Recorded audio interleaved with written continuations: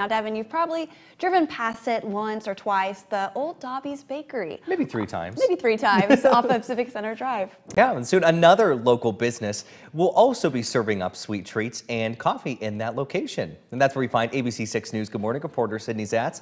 She is outside the future home of Roasted Bliss Coffee and Bakery. Good morning, Sydney. Good morning, Devin and Jesse. This building still has signs of when it was Daube's old bakery, but not for long. Originally, Roasted Bliss wanted a new location in the southwest part of town. Because of rising costs, that plan was scratched. Now, Roasted Bliss is moving to the former Daube's location. It will have a drive through, gluten free kitchen, a bar, candy store, and ice cream. You can also have a chance to watch their decorator design cakes.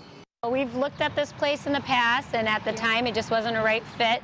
Um, we decided on this location a, a, couple months ago. Just really excited about the space that it has to offer, the location, um, the, the people that we can reach in this area, and then also the size of the building was really important to us, in addition to um, being able to put a drive-through in.